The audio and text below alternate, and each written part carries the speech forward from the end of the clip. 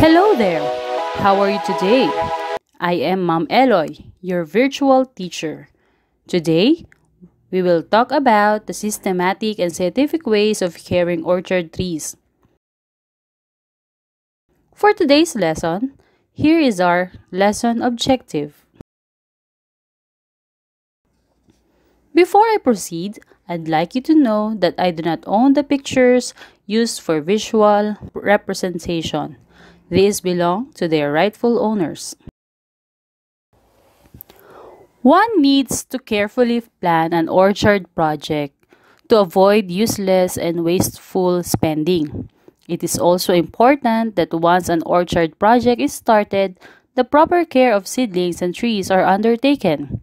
There are tried and tested procedures for taking care of these plants, from cultivating, use of fertilizer, and watering. There are ways of watering plants. 1. Natural. This is nature's way of providing water for plants through the rain. 2. Manual. This is the use of water pail and dipper or water sprinkler. 3. Artificial. Water supply is artificially produced from a deep well, dams, and river with the help of motors. There are four types of artificial way of watering plants. 1. Surface or furrow irrigation. Water is distributed to each row so is applicable only for row crops with uniform slope. The next is sprinkler irrigation. These include the line, rotating and micro sprinklers in which artificial rain is generated through a special device that wet the entire field.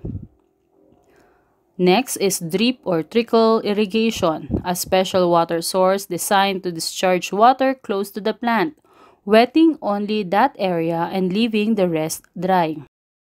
Sub-irrigation. This type is very high in cost because the water source is underground.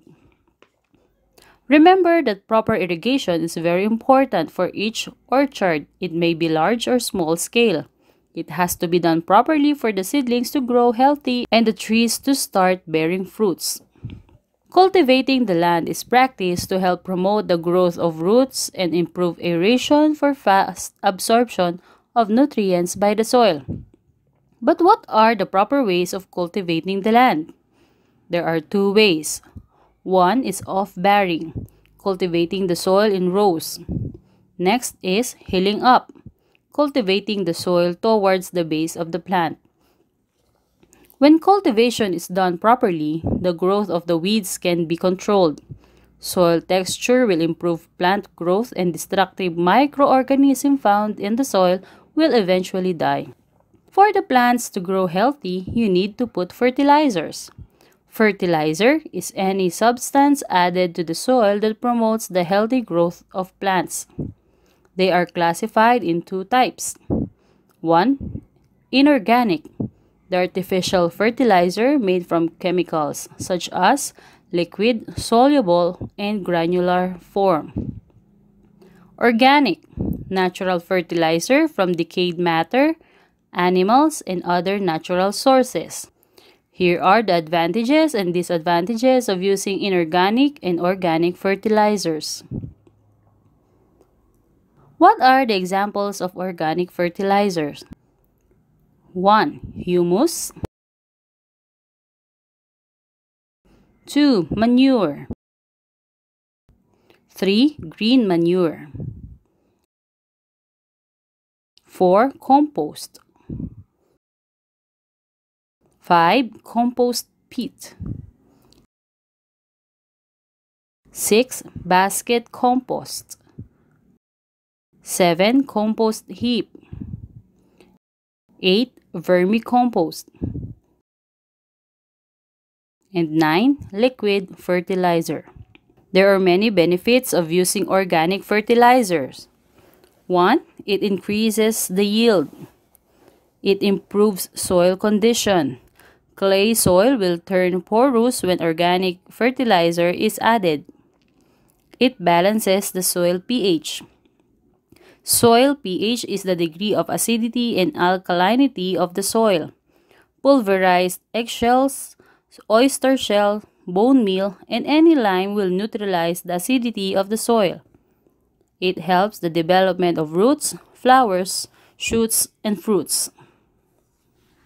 The use of pesticides may be necessary to protect and prevent plants and trees from getting damaged due to infestation.